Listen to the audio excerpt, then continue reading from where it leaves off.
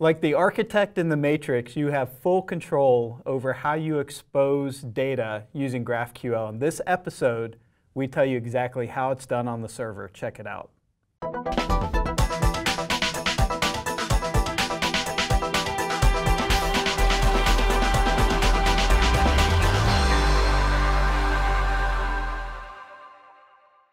Hello and welcome to another episode of On.NET. My name is Jeremy Likness, and today we're continuing our GraphQL series. If you haven't seen the introduction, go check that out because today we're taking what we learned and looking at how you stand up a GraphQL endpoint. I'm here with Brandon Minnick again. Brandon, welcome back. Thanks for having me, Jeremy. It's almost like you've been here all along. So tell us a little bit about, we talked about GraphQL, but now I want to use it. Right. So I need to stand that up on my backend. What do I do? Absolutely. So you could start from scratch. GraphQL is a open source framework. It's was created by Facebook, but it's now actually owned by the GraphQL Foundation, similar to the .NET Foundation. But what I recommend is a couple popular SDKs to help us get started. And the two most popular ones right now are GraphQL.net and Hot Chocolate. Okay. So GraphQL.net, it definitely is the most popular. It has millions of downloads on NuGet. And a lot of that is because it was the first GraphQL library for us .NET developers. But there's a rising star, an exciting new library called Hot Chocolate that is quickly gaining traction. So for today's demo, we'll use GraphQL.net, but highly recommend Hot Chocolate to anybody who's looking to uh, get started and learn more as well. And my understanding, if I understand GraphQL correctly, whatever SDK I go with, the way that I'm going to query and retrieve data is going to be the same. What's changing is the way I'm setting it up on the back end, correct? Yeah, essentially the, the syntax, their implementation, um, maybe one uses attributes and the other uses properties. So okay, kind Makes of sense you know, choose the one that makes the most sense to you and the one you're most familiar with and most successful with. Cool. So yeah, let's jump right into it. Let's, let's write some code. So I have here a uh, GraphQL library. Um, this is all done in .NET Core 3. And because it's all in .NET, I also have code for my mobile app in here, which we'll show off in our next section where we learn how to consume this API from our mobile app. Okay. But for now, let's go ahead and run this API just to show what it's doing right now. So right now it's running here on my local host. And just like we learned in the last episode, we get GraphiQL for free. So I didn't write any code. This just appears when I click run. And also like we learned in the last episode, we get self-documenting code. So graph GraphiQL automatically combs through my GraphQL backend and exposes all the types that are available for us to query. So what we're creating today is a favorite dogs app. I'm, I'm a dog lover, and you know it's always nice just to be able to have a look at your favorite dog on, on a mobile app. And so right now what we have in our GraphQL backend, we're able to query for one dog. So I can use what we learned in the last episode, and we can type in a specific dog. So we'll type in my dog's name, Kirby. And then for that dog, there's a couple different properties that we've exposed. And so I can search for the is, title. Is there a way to ask for all properties, or do you have to spell out exactly what you want every time? There is not. So this is that was something that tripped me up at first because I'm used to just querying a REST API. I'm used to just sure. saying, hit this get REST API and give me all the data. And so the first thing I would try, I would do something like this, where I would say, give me everything about Kirby. But, nope. but yeah, it yells happen. at me because I haven't specified the fields so that I want. It's a full opt-in model. Totally opt-in. Okay. But now that we pass those in, well, we can get that information back about Kirby. So, sure. so this is great. But one of the benefits of GraphQL is we don't want to make multiple round trips. We only need to make one round trip with our GraphQL endpoint, and the way I've designed our endpoint right now, it can't return a list of dogs. So okay. let's go ahead and jump into the code and add that in. Sounds like a plan. So exploring our, our code here, we have this we have this images query.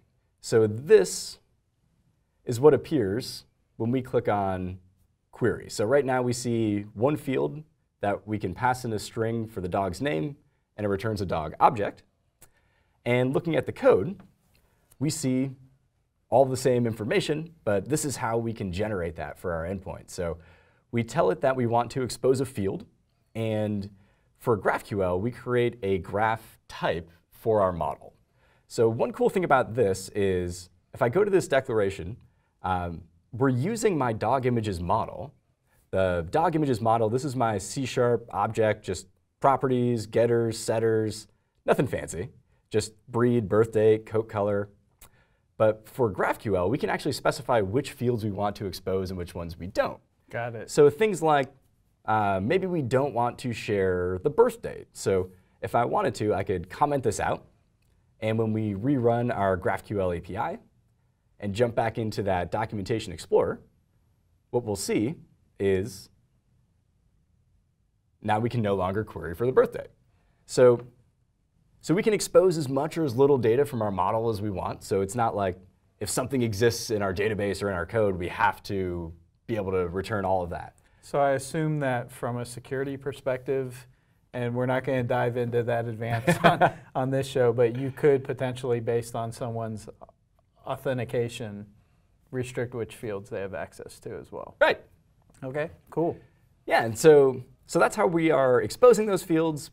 And we were saying we want to also be able to query for all the dogs. So what we'll generate here, we'll say, we'll have another field underneath this query. And this will actually be a List. list graph type. And the type of that will be the dog images graph type. And then we just have to give it a little bit of information. So um, this is what we'll call it. So for the other one, we called it dog because it just returns one dog. So we'll get really creative and call this one dogs. And the I was ahead of description. you on that one, by the way. and for the description, we'll say uh, returns a list of dogs. And you know, when we're comparing this to the previous one, um, it's going to look a little different because the previous one had to have an argument where we passed in the dog's name. Right. Because we were only returning one dog, so we had to tell the user or ask the user which dog. Uh, for this, we're not going to require a specific parameter, specific query argument. So we'll just jump down straight to what's called the resolver. And there we go. And so the resolver just tells the GraphQL endpoint how to get the data. So when they ask for this, this is how you resolve the request. Yep. So maybe this data is in a database, and we could point this to our, our SQL database. Uh, maybe we're building a GraphQL API in front of an existing suite of REST APIs. We could actually point this to existing REST APIs. Nice. So in this case, we'll point it to my, my dog images data, and we'll just tell it to get all of the dog images. And we're getting yelled at. Not all here. Oh, let's go ahead and stop running this. Doesn't like the live change. Oh, I see what I did. Okay. I forgot to tell it, because we need to pass in a context. It just so happens I'm not using the, the current context here. This is just some, uh, basically some dummy data that we're returning back. Okay. So now let's run it. And when we run this again, we'll see in our documentation explorer, we'll see the original dog query, but now here's the new one we just created. So what we're able to do now is create that query where we can request all the dogs. But again, just like we said earlier, we can't just say, give me all the information about all the dogs. We have to actually specify which information we want. So we can get back the dog's name or the title of the image, the breed, and we'll select a couple of these. And there, And there we go. And now we have all this list of dogs. So we have Waffles and Whiskey and Toby, all my favorite dogs coming back from our new GraphQL API endpoint. So it sounds like you have full control over what you're returning. Doesn't matter if it's XYZ database, but you have an API that you basically say, when I ask for this, this is how you get it. And then once you do that, the client is off to the races. So it's not like, because I've heard some people say, we're passing control to the client and they could just write any query and that's not a good thing. But you've got control over what's being passed in. And Exactly. Yeah, just like with any API, we'll restrict or expose only the data we want. So Right. we don't have to share any PII like birth dates or passwords or anything crazy like that because nobody needs to see that. Right. Very good. All right, so if you're wondering where to find this code, it is all available on GitHub. And what we've done today, we put together this web page that gives you links to the code, a couple of different sample apps, and if you want to learn more, there's also more information there where you can dive into the docs and start learning and building your first GraphQL API endpoint. Nice. So that's GraphQL on the back end. In the next episode, we're going to explore how to consume this data from a client. So tune in, check it out, and thank you for joining us in on.net.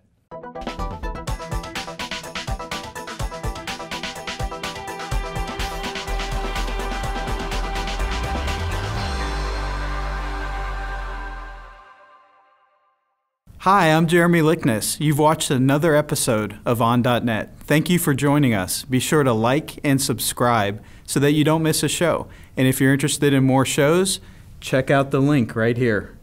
Thanks.